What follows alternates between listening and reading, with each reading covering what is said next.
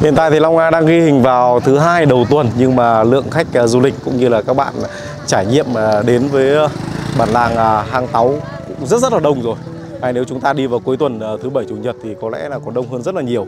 Ở trên ờ, Sơn La thì đang vào mùa du lịch, mùa mận chín hàng trên những cái dãy núi đá ấy, chín đỏ một màu sắc luôn đẹp lắm bây giờ chúng ta sẽ cùng nhau tiến vào trong cổng làng để à, khám phá mọi thứ ở đây nhé Đây đi. ở kênh anh về miền tây bắc em ạ. Ờ, à, đến à, cổng làng này thì mọi người sẽ để xe máy ở đây. Có người trông coi. Các bạn nếu như tay lái yếu thì các bạn có thể để xe bên ngoài. Thì có các bạn xe ôm hướng dẫn viên du lịch thì các bạn sẽ đưa vào. Đường đi thì như đầu video Long chia sẻ đấy là con đường đất.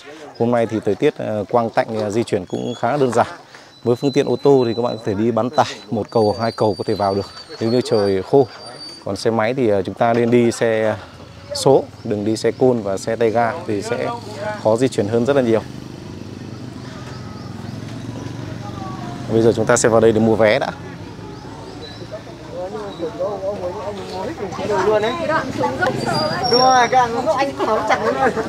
May hôm nay trời không mưa nhỉ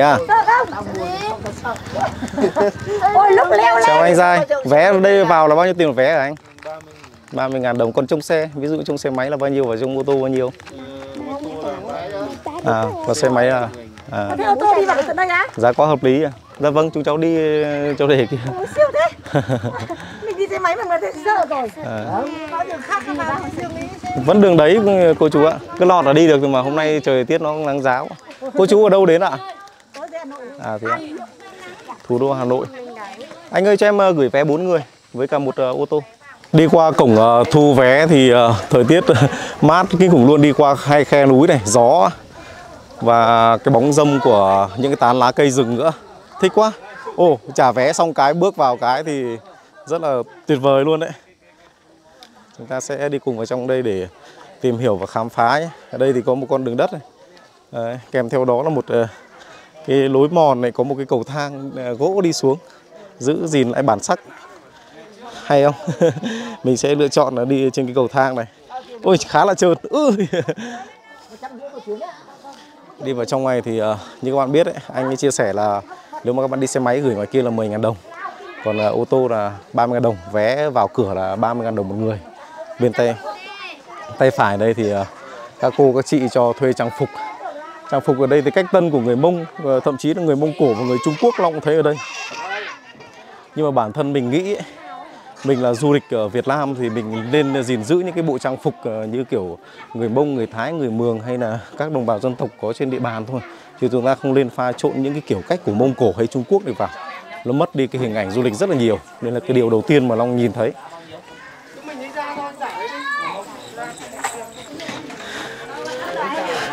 Chào chị, chị vừa thuê bộ ờ, của người Mông vào chụp ảnh à? Thuê như này thì ờ, bao nhiêu tiền một bộ hả chị? 50k Cả ngày luôn, chụp ảnh thoải mái. 50 ngàn đồng. Không.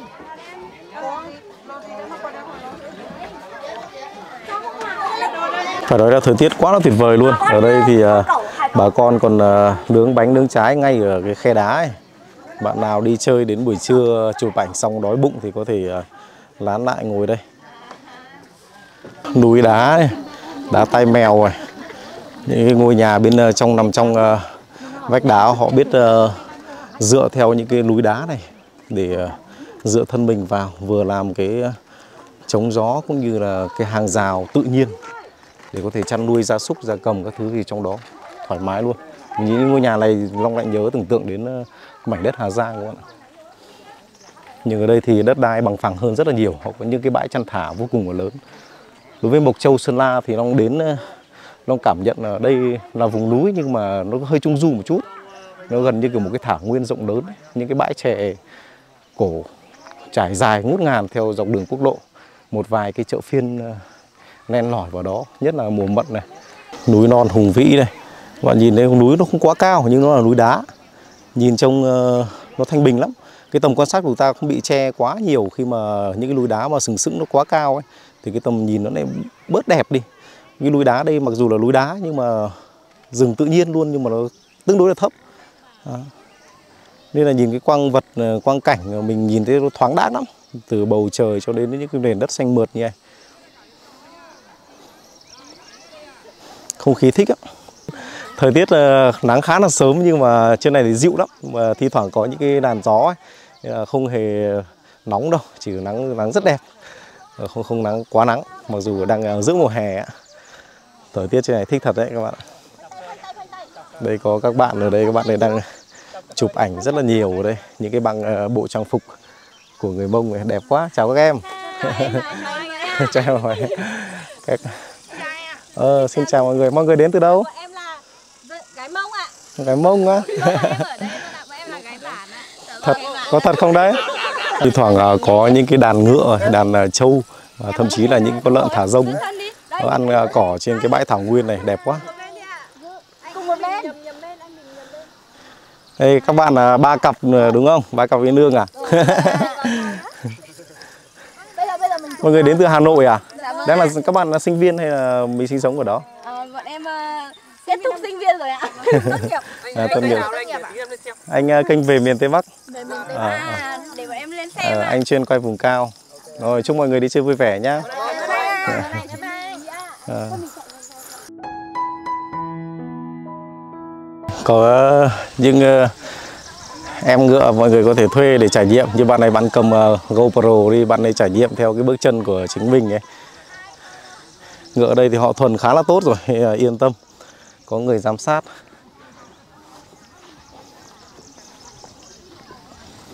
đẹp quá ở đây ví dụ mà có diều thì các bạn hoàn toàn có thể thả được nhé rất gió rất là lớn đấy làm một chiếc sáo mông một cái diều một chiếc khen vào đây mà thổi thì đúng là du dưa luôn theo điệu nhạc đây các bạn nhìn thấy không có những cái con lợn đen được thả rông kìa đấy con lợn mẹ cái nó chỉ tầm khoảng hơn 30 kg thôi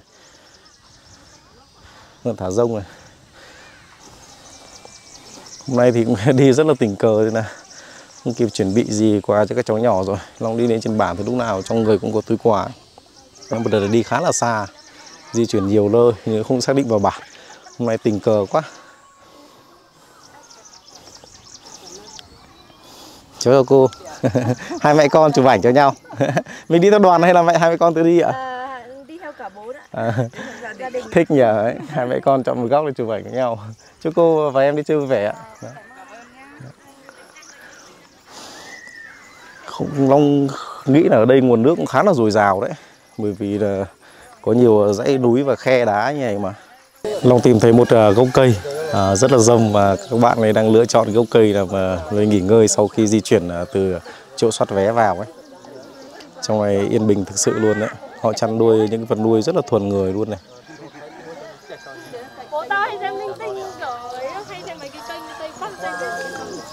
Ngựa đẹp quá. Ngựa quá đẹp và phong độ luôn Đấy, lông mượt mịn thơm tho ví dụ thuê ngựa này để đi chụp ảnh đi một vòng thì mình tính theo ờ, phút hay tính theo kiểu gì anh? À mình cứ đi. Chúng cứ đi. À hai vòng. cưới chạy là 50 nghìn 50 ngàn đồng. À, còn nếu mà con gái cưới chụp ảnh ngồi lên lên xuống đi. Vòng tròn tròn đây thôi. À. 30 nghìn. à mình ờ, tức là mình chụp ảnh tại vị trí là 30 ngàn đồng còn mình di chuyển. Rồi vào tự nhiên thì là 50 ngàn đồng. Cảm ơn anh nhiều nhé hôm qua hôm kia chắc đông lắm nhỉ? Cuối tuần mà. Hôm nay thứ hai thì ờ, các anh được nghỉ ngơi hơn một chút.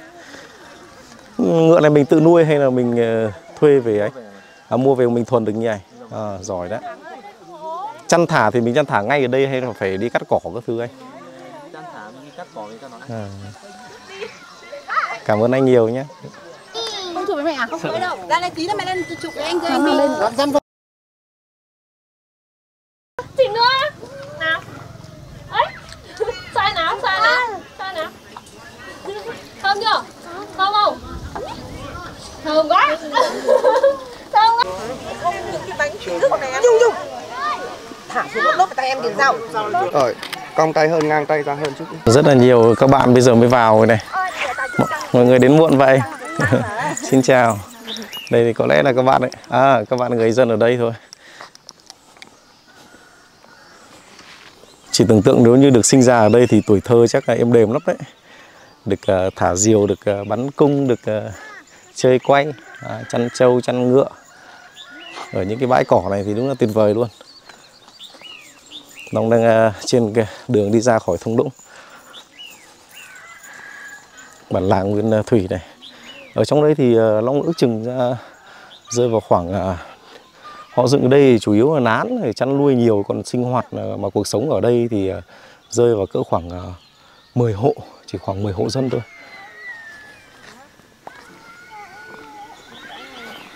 Ở được nữa. Là chữ.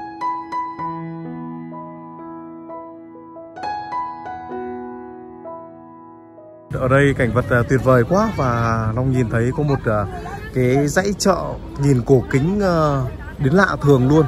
Một vài cái tấm bạt và một vài cái dơm cái dạ được bà con lợp ra. Một vài cái tấm ván được giải bên dưới được bổ ra từ những cây tre cây lứa đã thành một cái phiên chợ dọc bên đường quốc lộ rồi rồi. Một, chiếc cầu gỗ được ờ, bắc qua cái ờ, khe thoát nước ở bên ờ, đường quốc lộ rồi. Đàn trâu đàn bò họ cũng thả quanh co ở đây. Đẹp lắm.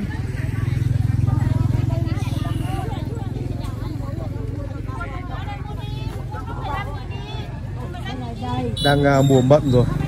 Mùa mận mùa dâu tây này. Đấy, đồng bào người bông thì họ rất là hay trồng rau cải các thứ như này. Chào nhá, mua cải mèo đi. Tưởng cải mông chứ. Mông. Á. Cho Tây đi. Hái mận cho Tây. Người Mông ở đây nói chuyện rất là tốt Bởi vì họ đang buôn bán ở khu vực ờ, Mộc Châu này thì ờ, nổi tiếng với ờ, du lịch rồi thì, ờ, Rất là nhiều. Mận ở đây bao nhiêu tiền một cân à Chị ơi mận bao nhiêu tiền một cân? Chị ơi bao nhiêu tiền một cân? 10 nghìn một cân. 10 nghìn một cân à? Vâng. Có bán thanh lý thôi. Thanh lý à? Thanh lý xong mai bán tiếp nhá. Tiền mà Có hai cái gì đẹp? Có mi. Có hai cái gì đẹp? Mi. Mi là gì? À Này Kinh à Phẫu thuật à hay là thử nghiệm đấy Hả Phẫu thuật hay là Ồ phẫu thuật thẩm mỹ đấy À đẹp trai này thẩm mỹ rồi à Ồ ở đây mình người mông hết cô nhỉ Em gái đấy bao nhiêu tuổi rồi mà có em, em bé rồi đấy Hả 20 à Chồng đâu À ở nhà Em bán cái gì Bán mận à Ờ. Thế à, vừa trông con vừa bán mận ở đây. Ô thế mình không bán mận mình cứ ăn thế kia thôi à? Vừa ăn vừa bán. Mình Nhìn cô cô còn tập thể dục kìa. Đấy Đang uh, tập uh, xà tạ đây. Công nghiệp phiên chợ uh, cổ kính thật đấy. Các bạn uh, nhìn ở phía sau là những cái bản làng này Đẹp lắm. Long đi qua đường thì tạt xuống đây uh, chơi một tí. Có những cái sân bóng nhỏ và những cái ờ, đồi chè bạt ngàn luôn Như một cái thảo nguyên rộng lớn. Một ờ, số những cái căn nhà lập ờ, tấm lập pro ở dưới kia. Nhìn thanh bình không? Ở bên trên này là một cái, cái, cái chợ gọi là chợ cóc đấy nhìn đẹp rồi đấy.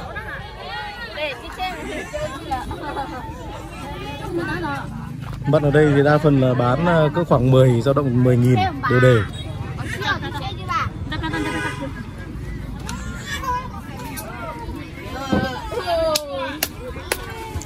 Thế sáng giờ bán được nhiều chưa chị ơi? Hơn một tạ à? Có bán người không? Ở đây có ai bán người không? Có bán người không? Đâu người này bao nhiêu nào để mua nào Người này tỷ Hả? Một tỷ á? Ui cho ăn 2 tỷ luôn. Hai Cho ăn 2 tỷ luôn. Người thì chưa tính nhưng mà tính phần trước. Ờ Để có mà hết xong người mới tính sau Thế có, có cái gì trước tính sau Này có mận chưa À chứ là mua mua mận xong đã xong là tính người sau á Ừ Đấy, thì người này khôn thế nhỉ Người này toàn đi quanh người đẹp thế này chết Vâng. Thế anh có thích người đẹp không anh? có anh em giống nhau đấy. Bác mua rau về à? nhưng mà bà này đẻ nhiều quá là nó không đẹp nữa đâu Đúng. Gái mấy con trông tròn đôi mắt anh ạ. á Vâng. này đẻ nhiều Này hai đứa chứ mình nghĩ nó phải để năm con gái cơ hai đứa rồi. nó phải để đến đứa năm đứa con gái nó mới có trai được thằng này À thế á? Ôi. Thế anh chuyên gia để trai luôn. Đấy, giới thiệu với em, trân trọng giới thiệu với em. Mấy phép thôi Anh này bóc phép rồi, anh này mấy vợ rồi Anh này đi lao lắm Anh, anh này thì rõ ràng là mấy vợ rồi, nhìn nhìn anh như ấy cơ mà. Hôm nay lấy vợ nào rồi, không phải là mình đẻ được năm gái ờ, đâu rau rau gì em lại quên tự tên quên tên anh ạ. Tóc bóc à Ờ, tầm bóp, tầm bóp, tầm bóp, tầm bóp phải tốt nhỉ? Ăn hơi ngặng ngặng một chút, ăn uh, một Vâng. ăn ngon mát. đồ tốt à ai quay chơi Em ờ, quay ờ, lên ờ, YouTube anh ạ. ê tốt là đấy thế thì phải tắm mấy con này xem con nào nó ưng á Đấy đang hỏi đây, có ngoài bán mận có bán người không? mấy con này đều chưa có chồng em Mua mận đi. À, mận này vẫn còn phấn này, nhìn ngon kìa. À vừa hái vẫn còn tươi nhỉ. Vâng,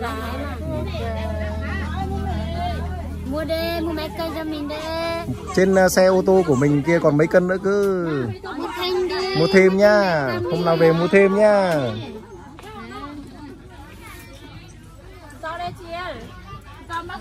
Con? Ai mua mận đi? Ai mua mận nào? Rất là nhiều mận luôn đấy.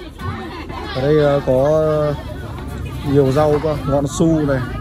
Long rất là thích ăn cái rau cải này các bạn nhé. Cái rau cải này về xào gừng các thứ thích. Ngày xưa lên trên bản bông xào xong rồi chấm với muối ớt các thứ này. Ngon kinh khủng luôn. Ăn quen đấy. Ngọn su đây tốt thật sự. Ngọn su đây tốt quá này. Mình xanh mơn mởn không thích không? Đi Quá thích luôn. Chỉ mua người thôi, không mua mận đâu. Có chỗ nào bán người không? Đây là các ờ, vị khách du lịch cũng như Long rồi. Nhìn ờ, đi qua thì thấy phiên chợ rất là hay nên dừng lại để ờ, chơi, chụp ảnh cũng như họ tiện họ mua đồ luôn. Hai cân nữa này Ờ, hai cân nào đây Rau, rau cải mèo đây à? Đây cải mèo Có củ rong này Ờ, ai mua củ rong đi. Củ rong nó Đây củ củ rong này ăn nó ngọt ngọt các bạn ạ. Nó không có như kiểu rong ta, rong bé đâu. Ừ, có nhiều nơi thì gọi bằng rong, có nhiều nơi thì gọi bằng ờ, nhiều từ ngữ khác nhau. rong rong rong giềng đủ kiểu và cái này luộc ăn nên ngọt lắm luộc lên ăn ngọt thơm lắm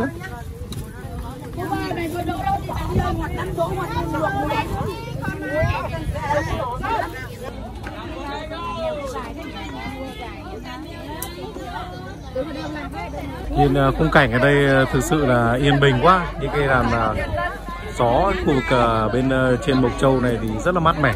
Nó gần như một cái thảo nguyên rộng lớn. Gió hiu hiu mát lắm. Về xế chiều này thì đúng là ra đây mà đi chợ thì tuyệt vời luôn. Ở đây thì họ bán cả ngày và họ nghỉ trưa đây. Thậm chí là bên khu vực trục đường bên kia họ còn ngủ lại qua đêm luôn. Có những cái lán lều ấy nhà xa lắm, đồng bào người mông thì họ ở đa phần ở trên những cái dãy núi cao thôi. Đây có một ờ, số cái quả bầu, cái mang về đựng rượu, họ đã phơi khô và bỏ lõi các thứ đi. Về đựng rượu vào, cũng rất là hay.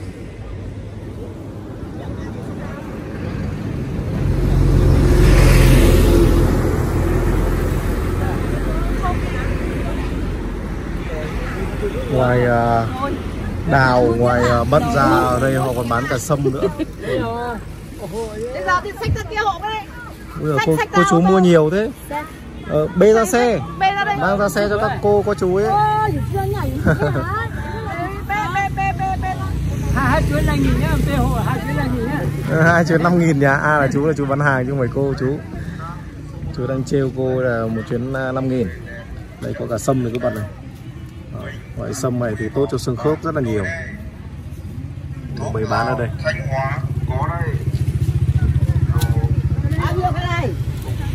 rất là đơn sơ thôi. Một à, cái à, khu chợ cóc này. Đậm à, đậm chất vùng cao luôn đấy. Đấy họ cứ gùi một cái gùi này. Từng chậu từng chậu một.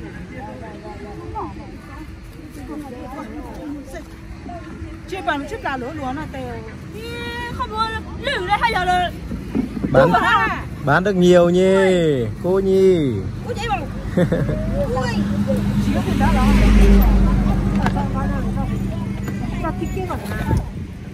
ở đây thì có thể họ dùng cái cởi bằng nhựa này nhìn nó nhẹ nhàng hơn.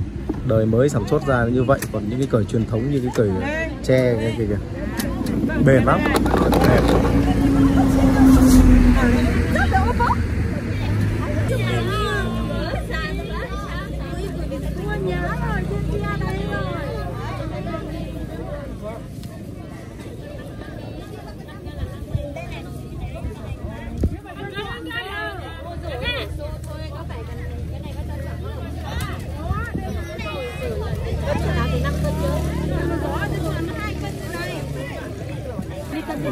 khách du lịch ở đây thì rất là thích thú với ờ, những cái đồ tự nhiên như này.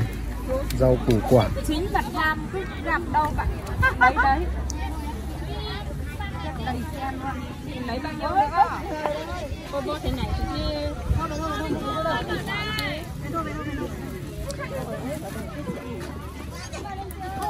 khung cảnh về chiều này đẹp quá các bạn ạ. Đấy phiên chợ ấy. Nhìn mộc mạc chưa xế chiều rồi nhìn những cái ánh nắng uh, tỏa nắng lên uh, và những cái bóng cây chè những cái đồi uh, thấp thấp một cái thảo nguyên rộng lớn này.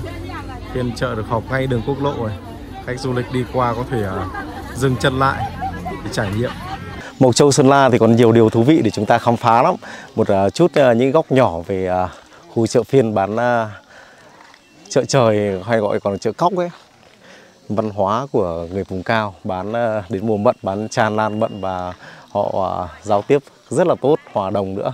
Một bản làng nguyên thủy còn hoang sơ mộc mạc này, hy vọng là người dân ở đây sẽ còn mãi mãi gìn giữ được những cái văn hóa truyền thống, những cái đẹp hoang sơ và nó kỳ bí, không ờ, lẫn vào đâu được, một chút hùng vĩ, tự nhiên.